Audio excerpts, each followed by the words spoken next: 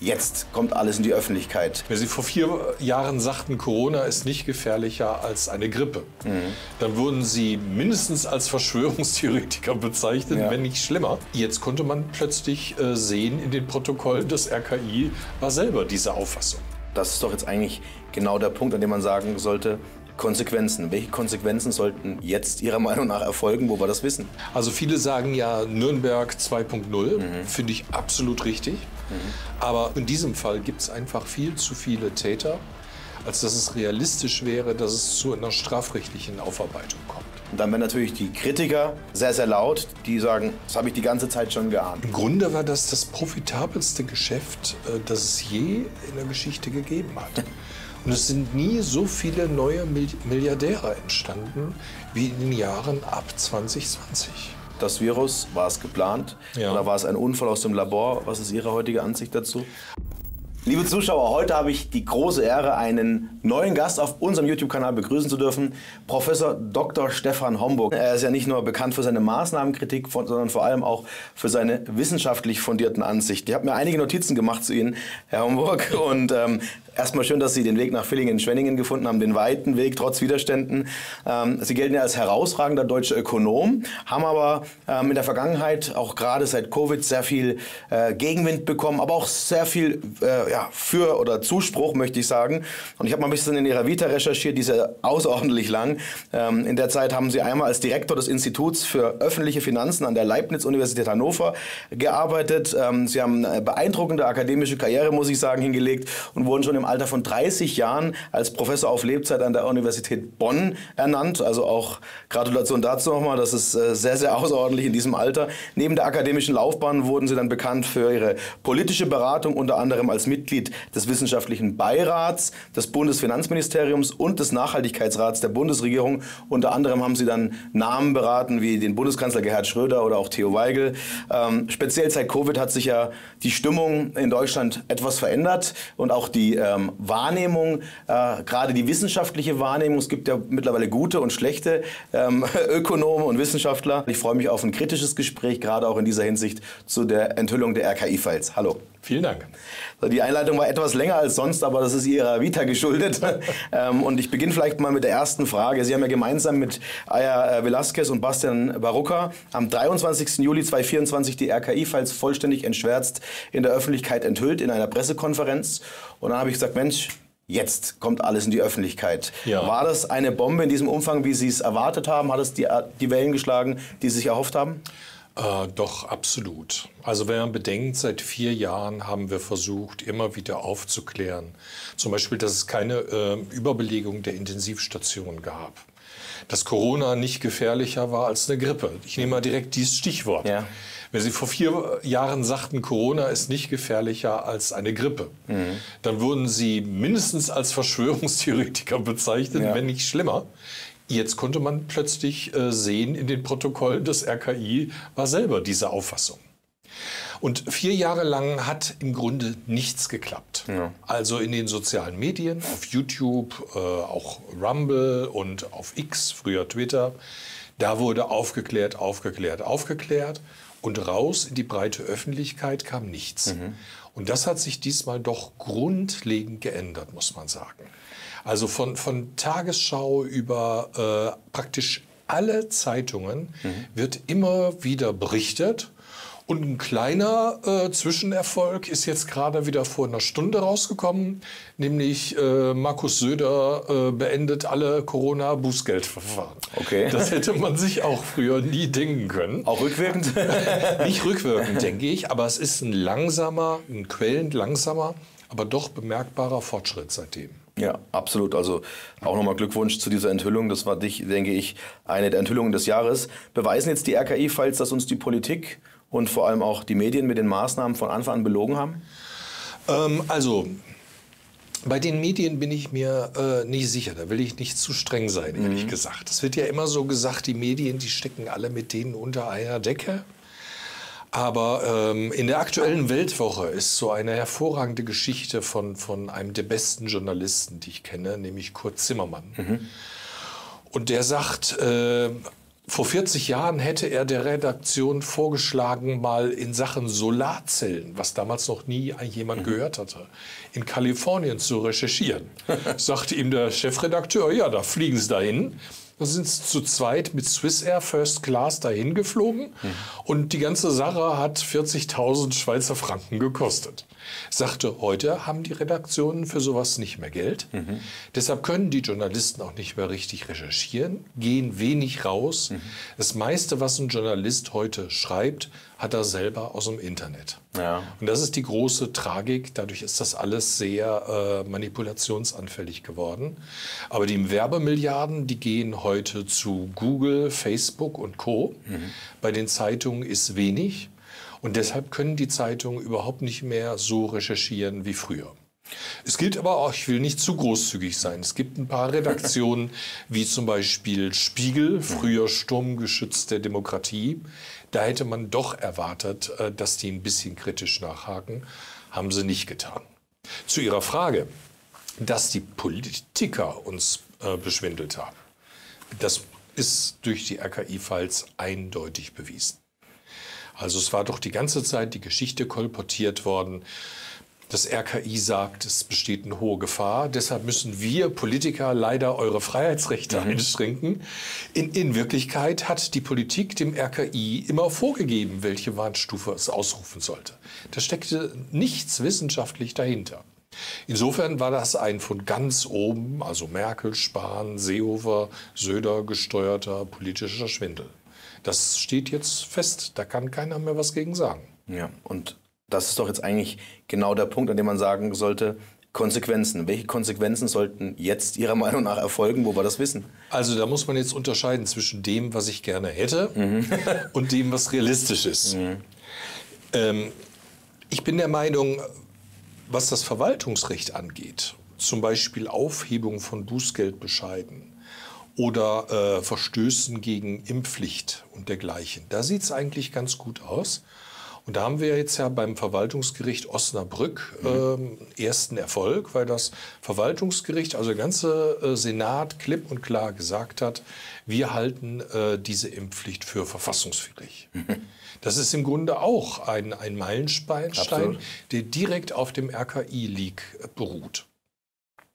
Beim Zivilrecht ist es schwerer. Da wünsche ich mir wirklich sehr, dass äh, Leute, die Impfschäden haben, auch entschädigt werden. Aber es ist wahnsinnig schwer. Also die Gerichte sagen einfach, äh, was nie bewiesen wurde, dass das Nutzen-Kosten-Verhältnis der Impfung positiv ist. Und dass deshalb der Einzelne es hinnehmen muss, Kollateralschaden bei der ganzen Sache gewesen zu sein. Ja, Total pessimistisch bin ich, um zum Schluss zu kommen, was gerne, Strafrecht gerne. angeht. Also viele sagen ja Nürnberg 2.0, mhm. finde ich absolut richtig. Mhm. Aber Nürnberg 1.0 hat es nur gegeben, weil es von Alliierten geführt wurde. Mhm. Auch in diesem Fall gibt es einfach viel zu viele Täter, als dass es realistisch wäre, dass es zu einer strafrechtlichen Aufarbeitung kommt. Das wird man alles äh, ziemlich schnell vergessen, denke ich. Danke. Ich habe äh, zu Ihrer Medienwahrnehmung noch eine Frage. Und zwar, man sprach ja oft von der Pandemie der Ungeimpften. Das haben Sie ja, mit den RKI-Files klipp und klar widerlegt. Ja. Wer wollte dann, dann diesen Begriff in der Öffentlichkeit prägen? War das dann Ihrer Meinung nach gesteuert, um es mal so zu sagen? Ja, also äh, ja, und zwar in größerem Ausmaß, als Sie vielleicht denken. Ja. Denn der erste, der, der, der erste bekannte Mensch, der dieses ähm, benutzt hat, war Joe Biden. Mhm. The Pandemic of the Unvaccinated. Mhm.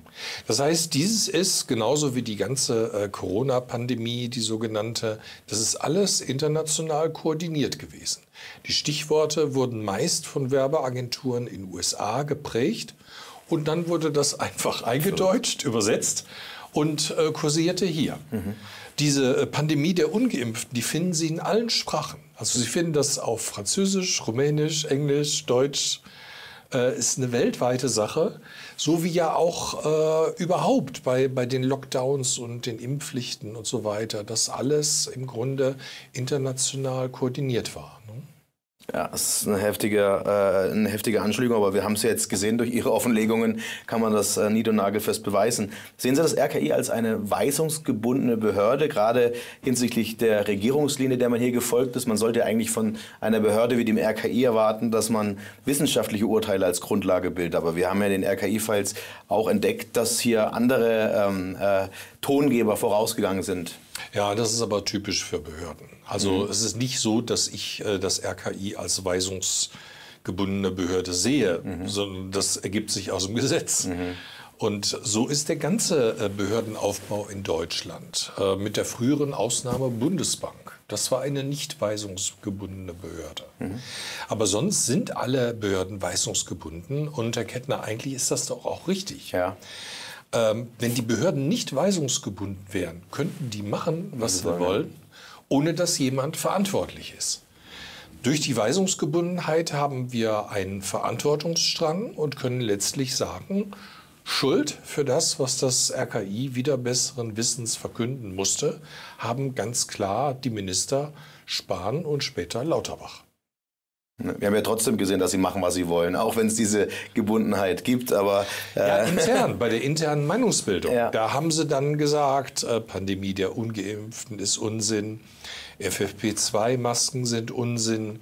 Und ganz am Anfang, im März 2020, äh, liest man ständig zwischen den Zeilen, dass das RKI im Grunde alles unsinnig fand. Denn die hatten ja einen Pandemieplan entwickelt mhm. über Jahre und Jahrzehnte.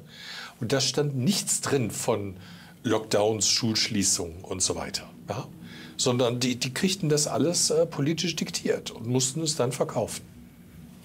Was war bei der Entdeckung, der Recherche, man, es waren ja unheimlich viele Dokumente, ich habe auch einiges gesichtet, ja, aber was war Ihre größte äh, Errungenschaft oder Ihre Überraschung, wo Sie sagen, das kann wirklich nicht hier drin stehen? Also gab es so einen Moment, wo Sie, wo Sie, oder wahrscheinlich mehrere? Ab, absolut. Also äh, es sind all die Stellen, die diese sogenannte Risikobewertung betreffen. Also unser Leben hing ja drei Jahre ab im Grunde von der Risikobewertung. War das Risiko niedrig laut RKI-Verlautbarung im Wochenbericht? Oder früher Tagesbericht, dann konnten wir leben, frei leben sozusagen, mhm. wie in den Jahrtausenden vorher. Wenn aber die Warnstufe vom RKI auf hoch gesetzt wurde, dann äh, gab es Schulschließungen, Ausgangssperren, Lockdowns und so weiter und so fort. Und äh, um Ihre Frage zu beantworten, das Erstaunlichste ist, dass diese Risikostufe dem RKI diktiert wurde. Also am 17. März 2020 hat das RKI auf Befehl die Risikostufe hochgesetzt. Man sieht dann im weiteren Verlauf der Protokolle, dass sie ab und zu mal das Risiko senken wollten. Mhm. Zum Beispiel im, im Juni 2020. Mhm. Ja, mhm. Im Juni 2020, da waren ja nicht nur die Erkältungen praktisch verschwunden, sondern sogar auch diese PCR-Testergebnisse. Mhm. Also die Inzidenzen waren nahe Null. Mhm. Und dann wollten die wissenschaftlichen Mitarbeiter des RKI konsequenterweise auch das Risiko mal wieder runterstufen. Aber es ist ihnen verboten worden. Das durften sie erst im Februar 2023, also nach drei Jahren. Und dass die ganze Risikostufe politisch diktiert war, bis ins Einzelne. Und dass ihnen vorgegeben wurde, wissenschaftliche Kennzahlen auf zwei Nachkommastellen auszurechnen. Mhm. Ja, von, von einem Politiker von einem Bankkaufmann, der das so ja, gewohnt klar, war. Sparen, ja. ne? Das ist einfach alles unfassbar. Ja. Inwiefern hat das Verhalten des Robert Koch Instituts das Vertrauen der Öffentlichkeit auch in, ähm, in die Institutionen wie ein RKI und weitere äh, Ämter äh, beschädigt, beeinträchtigt? Also mir geht es persönlich so, nachdem Sie das ja auch in der Öffentlichkeit breitgetreten haben, hinterfragt man alles noch etwas mehr und man ja. hat noch mehr Misstrauen. Ja? Ja. ja. Und das ist auch richtig so, ja. finde ich. Ja, absolut. Ja. Der Prozess äh, läuft noch weiter. Es gibt noch nicht so viele Leute, wenn Sie mal so am Stammtisch und in der Familie reden, ja. es gibt noch nicht so viele Leute, die die Bedeutung dieses RKI-Leaks auf dem Schirm haben. Ja, ich habe es auch ein bisschen in den, in den öffentlich-rechtlichen vermisst, muss ich zugeben. Also ich weiß nicht, ob, ob ich da was verpasst habe. Ich bin jetzt niemand, der, der, der in den alten Medien viel unterwegs ist. Liegt ja schon allein am Dasein. Dass, Sie sind ja auch auf YouTube äh, tätig. Wir verlinken den Kanal für die Zuschauer gerne mal unter dem Video und Ihren X-Kanal ebenfalls. Da folgt Herrn Homburg gerne, wenn er es noch nicht tut. Aber ich bin sicher, einige tun schon. Aber wie war das denn? Also kamen große Anfragen, Tagesthemen und so weiter? Wie, wie? Nein, also wir hatten ja zu einer Pressekonferenz eingeladen. Ja und da kamen von den, es kamen insgesamt rund 30 Journalisten mhm. und von den etablierten Medien kam genau niemand. Ja, klar. Aber schon am selben Abend war es in der Tagesschau. Mhm. Zwar mit äh, entsprechendem Framing, aber es wurde genannt. Mhm. Wir hatten natürlich auch unglaublich Glück, mhm. denn äh, es war die EM gerade vorbei. Und Olympia hatte noch nicht begonnen. Ja, da war das war Lücke, in der Zwischenzeit. Mhm. Und so kam es dann immerhin in die Tagesschau.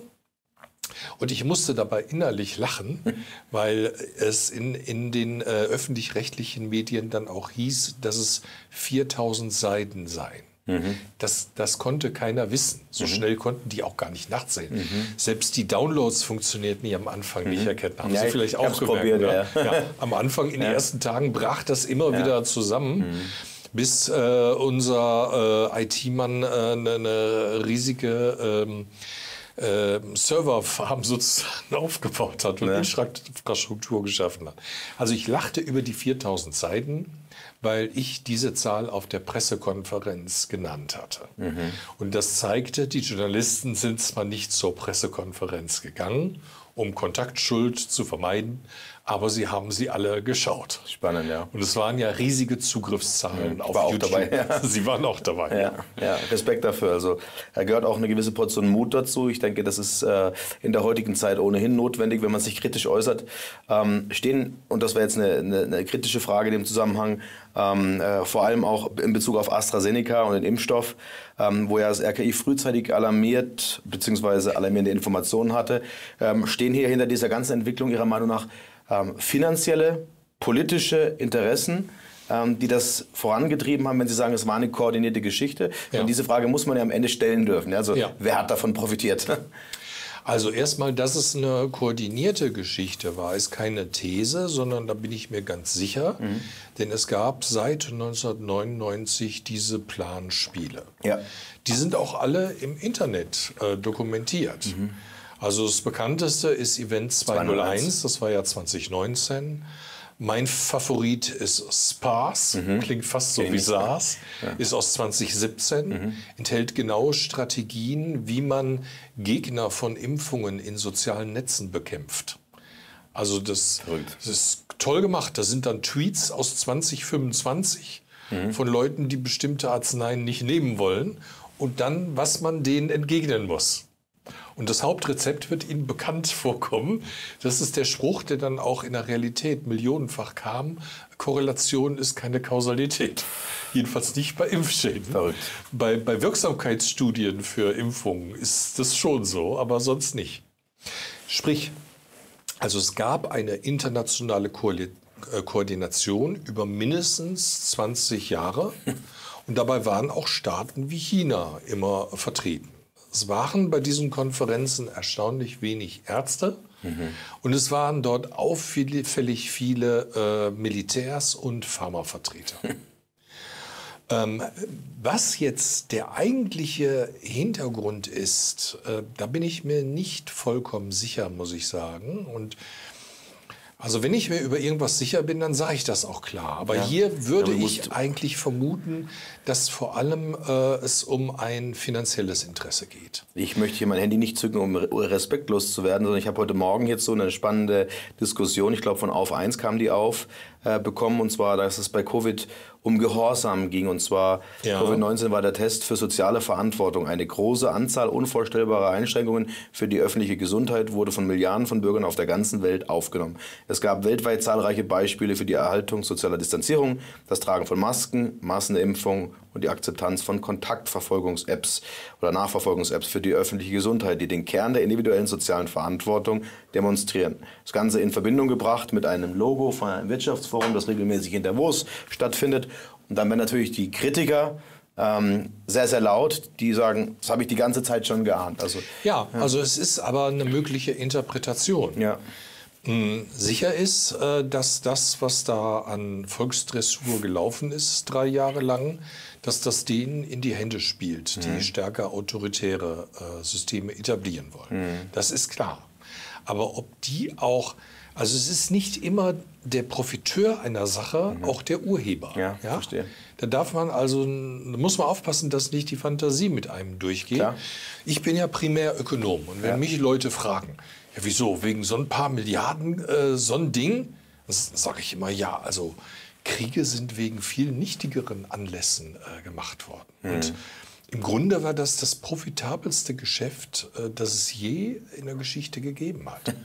Und es sind nie so viele neue Milliardäre entstanden wie in den Jahren ab 2020. Spannend, vor allem spannende Aussage, ähm, dass Sie das genauso sehen. Wer hat denn ähm, am Ende des Tages, wenn Sie jetzt von Milliardären sprechen, profitiert und ist damit auch in der Öffentlichkeit in irgendeiner Form aufgefallen. Also ich sag mal, man hat immer wieder Namen gehört von reichen Tech-Milliardären, ja. das Silicon Valley, gerade die, der digitale, der finanzielle Komplex hat massiv profitiert. Wir haben ja gesehen, äh, die großen äh, Big Seven mittlerweile mit Ausnahme von Nvidia und äh, Elon Musk mit Tesla, sind alle in dieser Phase massiv äh, aufgespült worden. Das heißt, es gab definitiv Gewinner in den USA, im Silicon Valley, aber es sind Ihnen auch Namen bekannt, die Sie da äh, in der Öffentlichkeit. Äh, also so ein Name, der, der, ja allgemein bekannt ist, ist eben Gates. Gates ja. ist bei BioNTech 2019 eingestiegen und dann auch rechtzeitig wieder ausgestiegen mhm. und hat einen, einen Riesengewinn gemacht. Dann die Strüngmann-Brüder. Mhm. Aber ich denke, es werden in nächster Zeit auch äh, ganze Dissertationen äh, erscheinen, das mhm. ist auch nötig, mhm.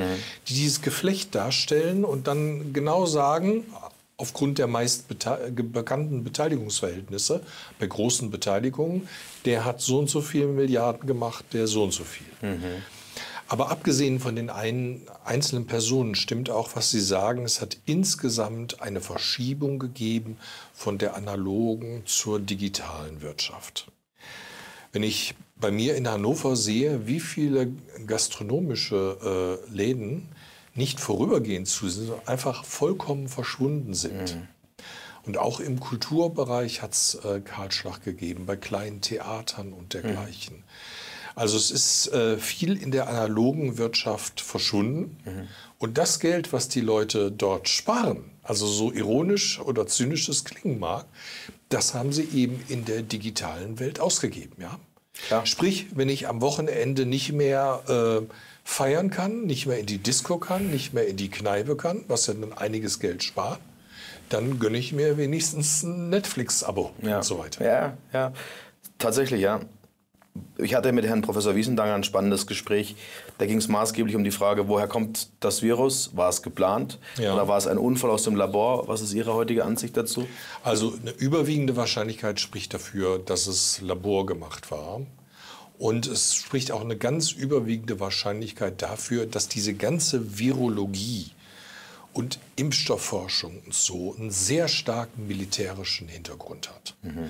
Also es kann durchaus sein, auch wenn viele das für abwegig halten, dass das ganze äh, SARS-CoV-2 eigentlich eine Biowaffe sein sollte, ähm, die, die aber gescheitert ist. Mhm. Und zwar an unserem Immunsystem. Mhm. Ja? Also es ist schon sehr auffällig, bei, bei der Zulassung von mRNA hatte die DARPA ihre Finger mhm. im Spiel, also die Forschungsabteilung des Pentagon.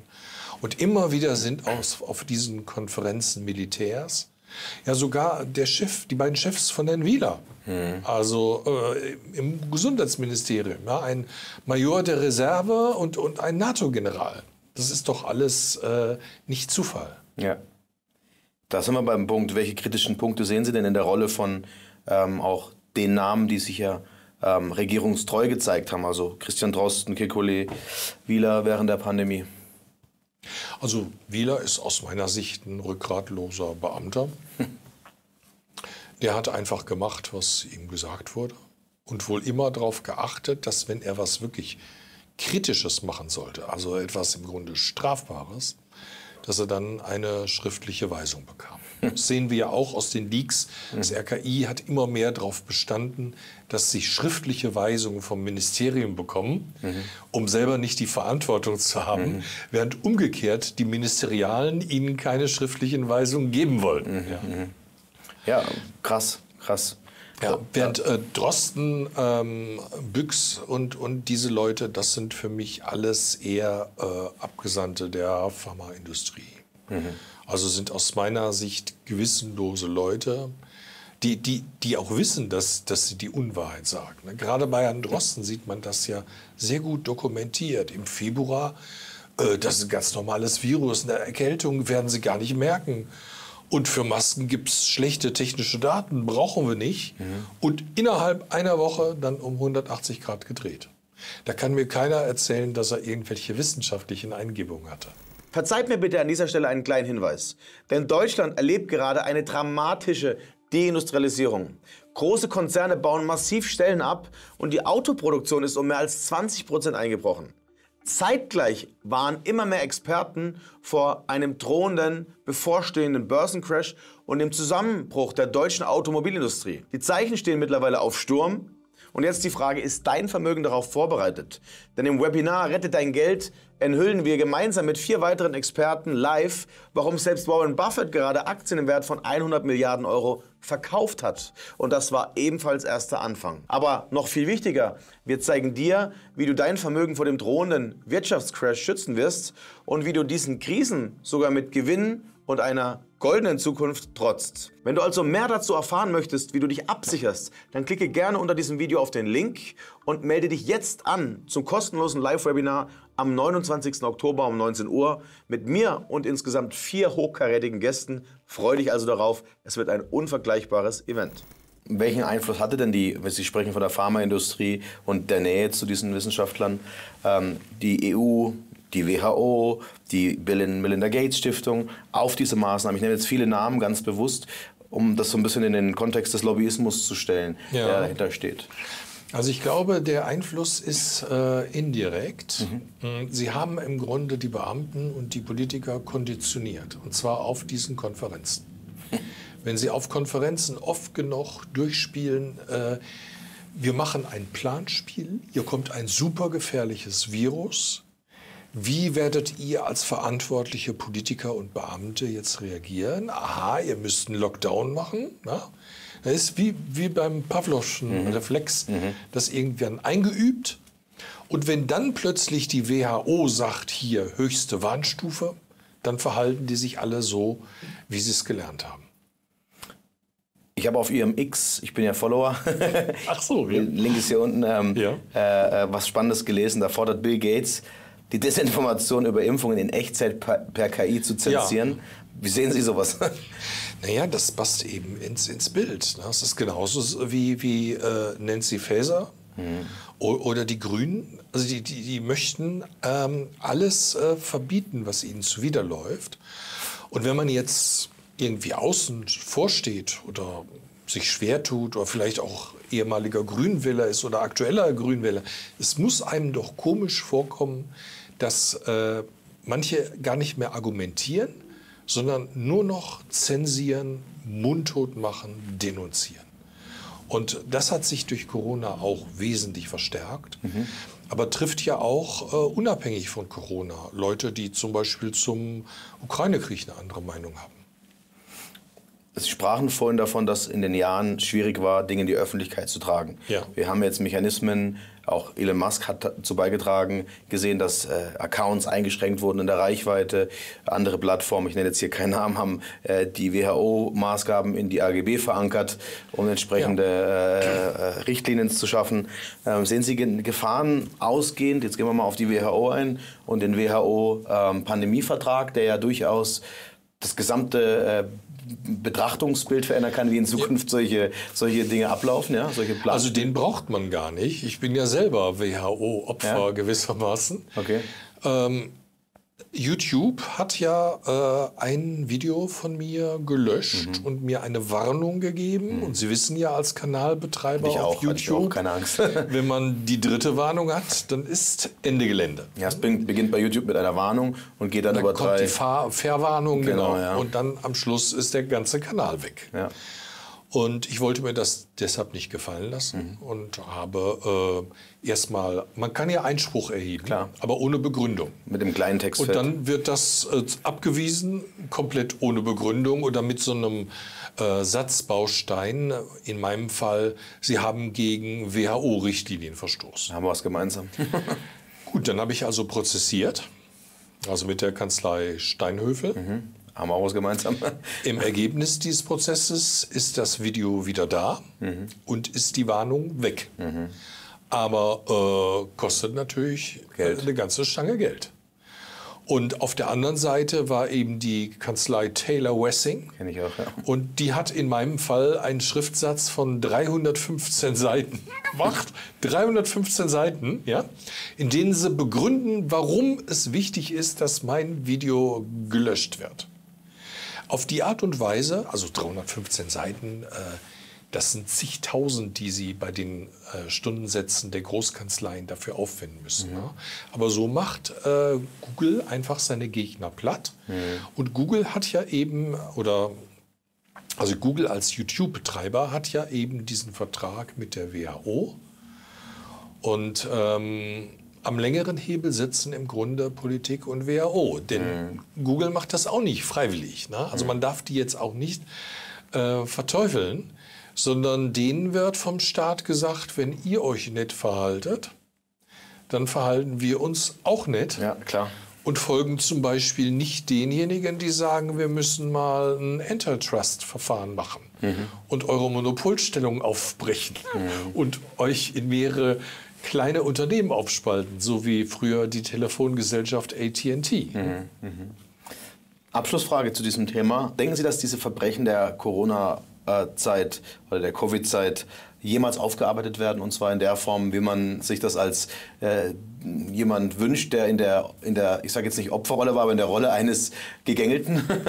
ja, also aufgearbeitet im zivilgesellschaftlichen Bereich auf jeden Fall. Das läuft ja auch schon. Mhm. Da gibt es ja Bestseller wie den von Dr. Frank mit mhm. dem bezeichnenden Titel Das Staatsverbrechen. Mhm es lässt ja nichts zu wünschen übrig. Aber eine, eine strafrechtliche Aufarbeitung durch Gerichte wird es meines Erachtens nicht geben, weil die Zahl der Täter zu groß ist, die Täter zu mächtig sind und auch die Gerichte selber zu tief in die Sache verstrickt waren. Das ist ein heftiger Vorwurf. Was möchten Sie den Zuschauern zum Ende dieses für mich sehr spannenden Gesprächs denn gerne mitgeben? Haben Sie denn einen Wunsch, etwas äh, zu teilen, Informationen in die Öffentlichkeit zu tragen, damit mehr Menschen davon erfahren? Ich lasse Ihnen als Gast hier das Schlusswort. Ähm, nichts Spezielles. Ja. Also mein, mein, großer Wunsch wäre, äh, dass diese Zeit nicht äh, so schnell vergessen wird. Mhm. Am Anfang lebte der Corona-Widerstand, das darf man nicht vergessen, von denjenigen, die noch Erinnerung an die Schweinegrippe hatten. Mhm. Also mich hat sehr beeindruckt, dass auf der ersten Demonstration, auf der ich überhaupt war als Zuschauer, mhm. mhm. äh, die Organisatorin eine junge Frau war. Und ich fragte sie, warum engagieren Sie sich hier so? Äh, die hatte auch kleine Kinder, warum mhm. engagieren Sie? Sagt sie, dass eines ihrer Kinder unter Narkolepsie äh, leiden mhm. wird. Also einer schrecklichen Krankheit, naja. wo sie im Grunde ohne Vorankündigung plötzlich einschlafen. Das mhm. heißt, sie können im Grunde kein Auto fahren. Ja. Sie können auch die meisten Berufe nicht ausüben. Und äh, verursacht war das durch dieses äh, Pandemrix, das damals von Herrn Drosten empfohlen wurde, äh, mit dem Argument, keine Impfung kann so gefährlich sein wie dieses Schweinegrippenvirus. Das war 2009 und das war 2020 schon äh, von 99 Prozent äh, der Bevölkerung vergessen wäre wichtig, dass Corona ähm, nicht so schnell vergessen wird. Das wäre eigentlich mein größter Wunsch. Das ist doch ein schönes Schlusswort. Dann teilt dieses Video sehr gerne. Lasst gerne einen Daumen hoch da. Alle weiterführenden Links wie Ihren YouTube-Kanal, Ihren X-Kanal packen wir hier unten rein. Ich würde mich natürlich freuen, wenn ihr auch in dieser Playlist vorbeischaut und unseren YouTube-Kanal abonniert.